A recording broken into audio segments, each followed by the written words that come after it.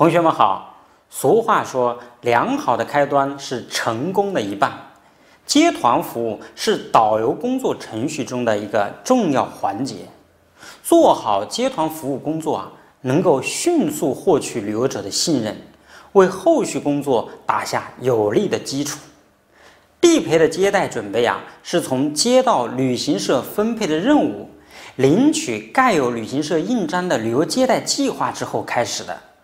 充分做好各项准备工作，能够使地陪啊始终掌握好服务工作的主动权，做到心中有数，从而有计划、有步骤地完成接待任务。接下来，我们进入情景模拟角色扮演环节，一起走进宁波中国青年旅行社，看看导游小秦是怎么做的。小秦，那个四月十五号有个地接团，你要去带一下。然后我这边把一些情况跟你讲一下。然后是总共客人是十个人，再加上一个全陪，总共十加一。然后第一天的话，接团以后就市区观光一下。晚上你把他们安排到开元名都入住酒店，啊，然后这一天要含一个晚餐的。嗯。然后第二天我们去溪口，一个套票。啊。然后。回来以后还是住在开元名都，然后那天要早餐、中餐、晚餐三个第三天去一个普陀山，然后普陀山回来以后你要送机场下午五点四十的航班。啊啊，对，这一天要办理退房啊，然后一个早餐和中餐就可以了。嗯嗯，这个是一个简化的行程表，待会儿下面我给你附了详细的，待会儿你去看一下。对啊，然后的话，这个呃是一个地接团，他们过来的单位是北京风光旅行社。啊啊，然后。呃，这个团队有个全陪啊，华杰啊，他的联系电话在这里，到时候你跟他联系一下，发一个欢迎短信啊，然后给你安排了一个马师傅的车，嗯，车号是浙 B 幺零五九二，然后这是马师傅的短号。那我刚才给你算了一下，就总共因为是十个人嘛，然后开元名都要用五间房，加上一些吃饭的费用以及门票的费用，还有车子有一部分过路费，呃，总共需要向财务科去预支一万块钱的经费，然后我已经报备给财务科了，你到时候待会儿办一下手续就可以了。嗯，这是一个计划单啊。嗯。然后接下来这个是一个详细的行程表啊，你到时候看一下，因为它每个点的时间你要扣一下啊，尤其是最后一天，呃，送飞机的那个。啊，时间，嗯，对，然后各个明细的门票价格以及住宿费用我都写在这上面了啊，你到时候看一下，尤其是这个发票的抬头一定要注意一下。先给他们先开好吗？对，要开好的，他们要带走。嗯，对，好的。然后再过来，这个就是给你的一个每天要做的一个费用清单，然后你反正发生过一项就把它记下来。然后汇总最后给我报销啊，然后待会儿我给你交接的地方有行程单，我刚才给你了，然后我们这个交接单我待会儿填完，然后你跟我核对一下啊，没有问题的话我们双方签字就可以了。好的好的。呃，这个是游客的名单表啊，都在上面。然后翻过来，这个是国内团队文明旅游的一个登记表。嗯嗯。啊，这个表格。嗯，可能原来是没有的，后来嗯响应那个国家号召，需要客人签字去对，需要客人签字就要做到文明旅游，嗯，这个很重要啊，这一块一定要。嗯，这个是一个行前的一个简单的一个你要准备的一个东西的一个清单。嗯。然后翻过来，这个是用车的，就刚才马师傅的车，待会儿你做一下登记工作。然后这个是车单要去填一下啊，要填。然后这个是现场的一个抽查，你尤其安全带啊。灭火器啊，这些非常重要。这是驾驶员去签字的。呃，这个是你检查他的车，检查好以后相应的打勾回来给我报销。嗯。下面的这一个就是导游工作小结，这是你最后送团以后，就是把你这一次旅游的一个大概情况写一下，看看有什么需要改进的。啊，这个是一个小结。然后这个是游客的意见反馈单，啊，也需要需要每位客人的签字。啊，对，需要每位客人都签字交回来，给你准备的大概十份左右吧。啊，就这是一个。计划单就你仔细的看一下，然后最终给我报销的时候，这些东西都要同步交给我。我需要的东西你要帮我送来。好的，明白，我知道了。嗯，你看一下。嗯。嗯，那个全培是住在哪边的？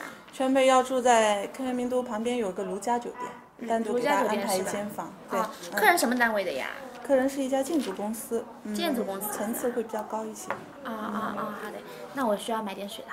哎，对，这个你倒是提醒我了。你每天准备一瓶矿泉水吧，放在车上，让司机帮你买一下。啊，好的好的，到时候我跟司机说一下，打个电话去吧。好的。然后他们北京人吃辣吗？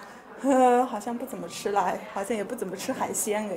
不吃海鲜的是吧？对，具体你跟那到时候给他全全培打个电话吧。对，全培联系一下。啊，行行行，我知道嘞。团队比较重要，你到时候准备工作做的仔细一点。好的，一切顺利啊。嗯，好。嗯，走啦。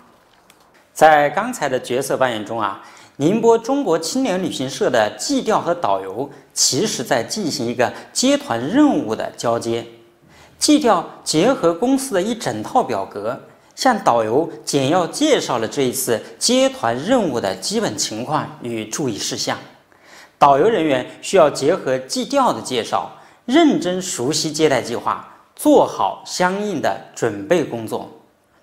从理论上讲，地陪的准备工作啊，主要是业务准备、知识准备、物质准备、形象准备和心理准备。其中最重要的三项任务就是熟悉接待计划、落实接待事宜和准备必要的物品。我们接下来为大家逐一分析。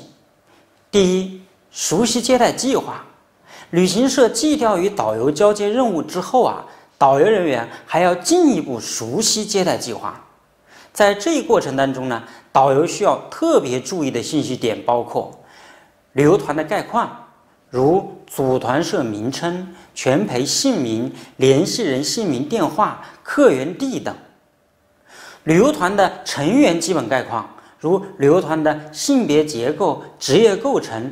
年龄层次、宗教信仰等，旅游路线的细节、交通票据情况、住房要求、餐饮要求、游览要求以及其他特殊要求。这里可能会涉及两个基本业务知识，老师给大家补充一下：一、自然单间，自然单间通常都是在团队旅游中产生的。如果一个团队的总人数为奇数。就会出现一个人住一间的情况，即产生自然单间。即使团队总人数是偶数，也可能会出现自然单间。